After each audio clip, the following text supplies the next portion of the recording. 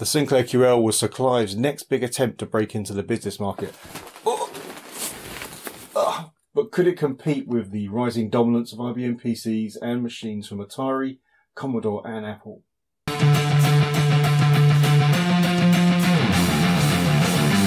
Right. well, here's the Sinclair QL box, uh, slightly beaten up as you can see this one. and uh, we'll, we'll just unbox it. Hey, we've got an unboxing. It's unusual we do these. Normally I, uh, I have the machines out already, but in this case the box contains quite a lot of stuff, so it's kind of worth doing. Um, I will try to deafen the sound of the polystyrene though.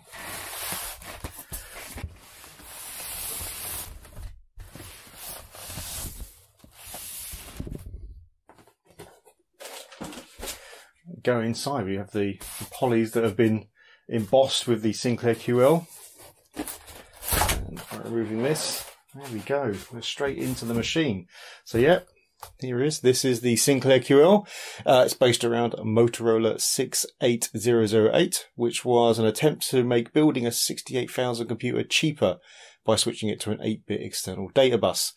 This meant that machines built around it were slower than normal 68,000 machines, but they should be faster than other 8-bit ones because the internal buses were still faster yeah, it's um, it's a striking design. There's no doubt about that. Another Rick Dickinson, obviously. His industrial design is pretty amazing. Uh,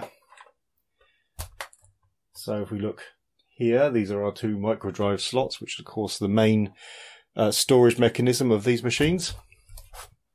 Uh, yeah, the, the keyboard, which we'll definitely talk about later a little bit, uh, which is, uh, yeah, very, very reminiscent of the, the Plus keyboard and on the back, various different serial ports.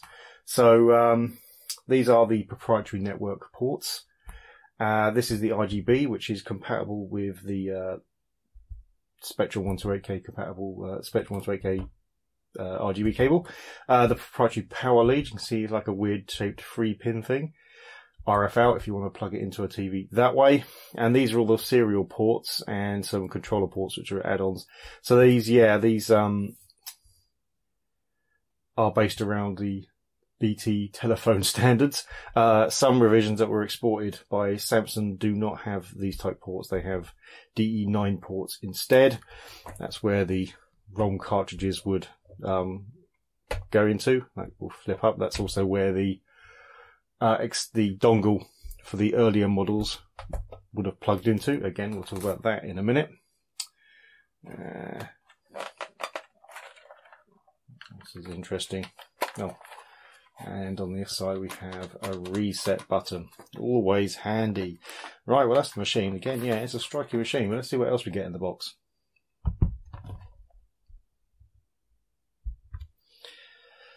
So have a couple of wallets of microdrives. These are the official programs that came with it. So uh, Cure Archive, which is uh, like a databasing thing. Uh, Abacus, which is a spreadsheet. Uh, Quill, which is a word processor. And Easel, which is a paint package.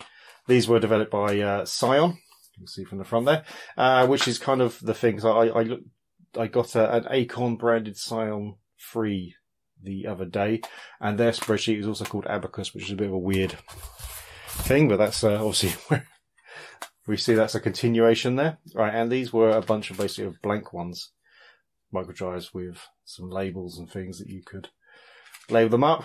These ones have got duplicates of the built-in software, which is you dealing with microdrives, a very good idea. These are standoff blocks, so you can raise the keyboard up to try to make it at least slightly comfortable. Um, here we have a printer. I think this is standard. That's a Centronics printer interface. Um, a games cartridge. I suspect that doesn't work. We'll try out later though. Hey, why not? and oh, another games cartridge. And another games cartridge. So, hey, maybe one of them will work. Uh, yeah, the power lead again. It's got that proprietary plug on it, and this is oh, the rest of the space is taken up with this giant user guide. Look at this. It's astonishing. That's huge ring binder. And so this has got all the instructions for using the machine and also for each of these included applications as well. And also a bit of SuperBASIC code as well. Um, yeah, astonishing. I do love these huge manuals. This is how manuals used to be, by the way, back in the back in the old days. and it's fantastic. And yeah, I I just noticed the polystyrene slopes down to take to make this level. Some wonderful, some wonderful design of packaging there. Right, uh, we should get to more of the machine, shouldn't we? Really? Uh, yeah. So the six eight eight six eight zero zero eight choice uh, kind of instantly impacted what this could do. It was designed obviously to compete with with uh, quite a few 68k based machines as well as IBM PCs. But straight out of the box, uh, there was little chance it was going to be able to compete with the Apple Mac uh, or the Amiga or ST because those had full fledged 68,000s and for the same clock speed, they would always be faster because of the increased bus size. But it did make it obviously a lot cheaper than those machines. So it was, uh, you know, swings and roundabouts and all that. Uh, by default, it comes with 128k of memory. This is officially expandable to 640k, but uh, theoretically and well, actually now potentially expandable to uh, 896k, which is what the uh, reduced address bus can uh, can address. It had two graphic modes, 256 by 256, which supported eight base colors, and 512 by 256, which supported four. Um, relatively high resolution for the time. Um, obviously, there were a few machines could do similar resolutions uh, outside of the 16-bit ones. and yeah, we've already talked about them briefly, but in, place of what was becoming um, moderately standard, uh, floppy drives, it has these micro drives instead. These are obviously proprietary to Sinclair. Um, uh, they're effectively, you've never seen a micro drive before. Uh, we take out one of these blank ones. Uh, well, first of all, they're, they're awful, just, just so you know. Uh, having been somebody who had to use them in the past, I can tell you they're definitely awful. Uh, they're effectively, they're just fast loops of magnetic tape. So they're basically tapes, but they run a lot faster and on a loop. So they are far, far faster than the tape drive is. They're not as fast or nor can they hold as much as a disc, but they're kind of, I guess, a midway house in terms of magnetic media. Massively unreliable. Tapes break. The data becomes erased. The micro drives have got all kinds of gubbins to keep them going, and they they go wrong quite a lot. Later models were improved, but um, yeah, they're, they're not great drives. That uh, we got onto that a little later as well. Uh, the QL planning started in 1981 under the codename the ZX83. That's followed on from the Spectrum's codename of ZX82, which was because it was a successor to the ZX80 and ZX81 computers. Originally, the QL was being planned as a portable system using one of Sinclair's flat screen mini displays, similar to those used in their TV80 product. It was a big thing that Sinclair was developing was the this flat screen technology. It was very advanced for its time as well. It's it's kind of those little things that people forget about Sir Clive Sinclair. He was a very intelligent man, and he had some very intelligent people working for him, and they made some very good products. Um, yeah, unfortunately, the portable system just proved too hard to make with all the features they wanted, and so it was scrapped, and it became this desktop model instead. Uh, originally, Sinclair contracted GST Computer Systems to produce the OS for the QL, but eventually they went for an in-house solution. Uh, GST 68K OS, though, was made available as an add-on ROM pack. And GST's tools, a lot of the development stuff were eventually got ported to the Atari ST and uh, the GST format became a, a standard on the Atari ST. Uh, Sinclair announced the QL will be available on the 12th of January 1984 and started taking pre-orders. As it turned out, the machine was far from ready by the time that the day arrived. Uh, these delays caused a lot of criticism and a bit of a slap on the wrist from the Advertising Standards Agency. Well, you know, Sinclair got away with a lot with that. I don't know if they get away with it nowadays, but yeah, uh, Sinclair had a bit of a, a bit of a uh, previous with the uh, ASA. As it happens, these early adopters may have wished for even more delays because when the QL was released, it was far from a complete computer. Design issues and an incredibly buggy ROM required an add-on dongle, uh, which was kind of always poking out the back of there. The microdrives proved to be even less reliable than previous incarnations. Uh, the, yeah, the, the microdrives had also appeared on the Sinclair Spectrum as an add-on thing using Interface 1. Um, they were unreliable, but yeah, these ones from the original versions, I think these versions are the better ones in here. They, uh, they, yeah, they were quite unreliable, breaking down and causing tape breaks. Whilst these issues were eventually fixed, with several redesigns increasing the internal ROM size to fix all the bugs and the missing features, and vastly improving the reliability of microdrives, the damage was already done. In what was already an uphill battle against IBM, the business community had lost faith with Sinclair and the QL. When Sinclair sold his business to Amstrad, the QL was quickly dropped, although production had already ended the year before. Reliability, the insistence on using microdrives which were not trusted by business or software publishers, and the fact that the keyboard was the same as that on the Sinclair Plus. yep. Uh, a machine which was seen as little more than a toy. It all sold very poorly. Um, didn't really sell especially well overseas, although Samsung did release a, few overseas models for Sinclair. But yeah, it, it didn't sell well at all. This is why these are relatively rare. Not very rare, but they do have a premium because they're, they don't come up that often. Uh, when the QL was officially uh, dropped, a number of companies used the hardware uh, to create their own designs. Uh, one of the probably the, the most well known of these is ICL's one per desk, um, which I do have, but you know, didn't think to bring it up with me, but you know, fine. there is a video on it, which is a part of a series which I have yet to complete, um, because I blew it up, but I will fix it.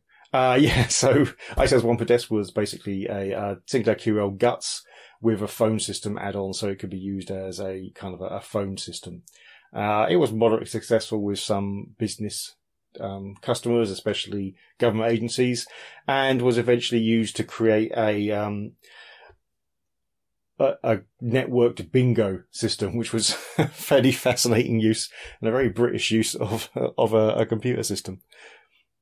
Uh, and one of the QL's main claim to fame is the fact that Linus Torvalds uh, it as being one of his inspirations for creating Linux, uh, mainly because the QL was so badly uh, supported, especially in his homeland of Finland, that he was used to making all of his own software. And so working with that and the, the preemptive multitasking, uh, system, he uh, got that inspiration. And when he moved on to IBM PCs, he started creating Linux, uh, Linux, Linux, you want to call it.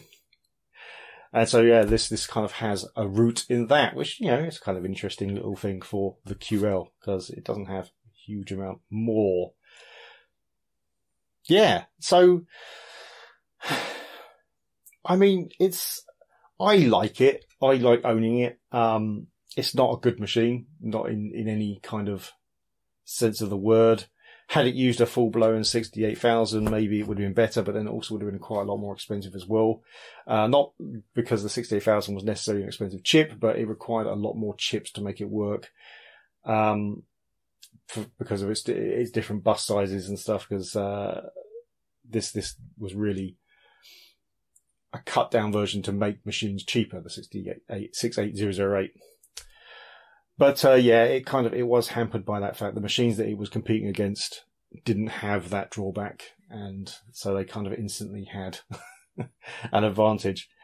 Um, and it was never going to be popular in the business community. The IBM PC was really taking over that market anyway, and, and this keyboard was just, it's not one you want to use for long periods of time. Uh, the keys are very, you know, they're very solid when you hit them, and yeah. but it was it was Sir Clive wanting to get into that business market to be taken seriously. Um, after the Sinclair Spectrum, which became really mostly known for games, you can kind of understand why he he just kind of threw everything at the wall. Um, but he still tried to do it in as cheap a way as possible because that's Sir Clive Sinclair. Yeah, unfortunate, but then he wasn't to know that IBM would win that market so so massively either. So uh, yeah, a shame. Uh, would I recommend buying one? Mm, not especially, no. They're not massively reliable machines for a start. The proprietary power supply uh, is especially difficult to get up and running. Uh, the microdrives are awful, although there are alternatives now as well, and uh, that you can plug into this thing. There are uh, custom made um, connectors and stuff, and you can technically add things like 3.5 inch disk drives to it as well, as well as SD solutions. But yeah, it's just whilst it's an intriguing piece of technology, there's nothing like particularly great about it in the sense that there was with the Spectrum and with things like the Amiga and, and the Atari ST. So the difficulty and cost of getting one doesn't really equate to good reasons for owning one, which it's a shame. It is, but if they were cheaper, if you could find one cheaper, then it's worth it. But if it's missing the power supply, then that's a whole pain right there to try and get that working. It is possible, but it's it's a big pain. Um, so yeah, if you're missing that, then it's it's just not worth it. right. Let's try to get some software running. Um, to show you how much faith I've got in the microdrive, as soon as I finish saying this, I am then going to do an outro. because I'm relatively sure I'm not going to be able to get anything running to the point where it's worth recording it. But we will try. I'm pretty sure it will at least power up, so maybe I can at least show you SuperBASIC. But anyway, alright. So yeah, I will see you in a minute. So here we are at the first screen you see when you boot up the QL. And yeah, it's asking for a monitor or TV. Um, now we are running via the RGB SCART, so we can push F1 for monitor, so F1. That works well. F1, come on. Great. Right, well, at least we got this far. As it turns out, I don't get to see if the microdrives are working or not, because the other big flaw in the QL, which is one I actually did forget to mention, is that it's still using a membrane keyboard, which will just randomly not work. This one has stopped working. so yeah, the uh, I can push F1 or F2 or anything as much as I want, and none of them are working. yeah, so that will be the other reason not to buy a QL. How well.